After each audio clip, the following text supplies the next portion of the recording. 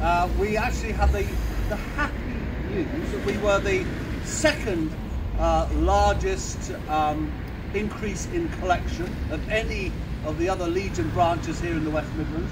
And we actually managed to collect a stunning amount of money of £15,428.75 pence. It was a remarkable sum and a remarkable uh, achievement. This year's theme for the Poppy Week or for Remembrance Weekend is Rethink Remembrance.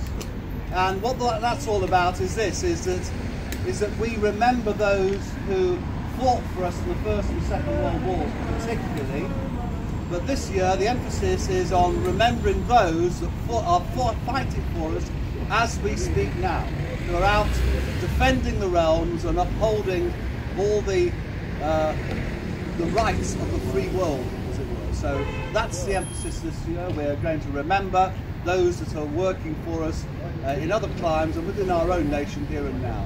So on saying that, if I could now invite the Mayor of Alcester, Councillor Chris Branigan, if he'd like to formally uh, open or begin our poppy collection Thank you. In doing that, can I just say a few words? Yeah. It's great that Mike has gave proper thanks to the people who we're trying to remember. But I think in a town like Alcester, we also need to remember all the people here who do so much to collect the £15,000. It's a great achievement that so many people are involved in this. And so it's a great honour for me.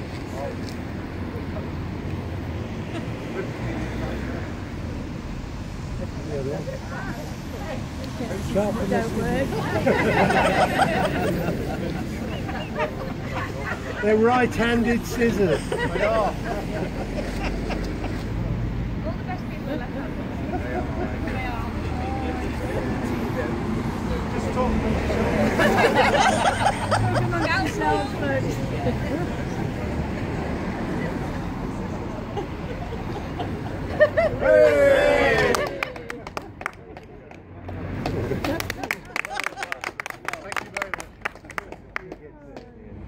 now we can retire back inside.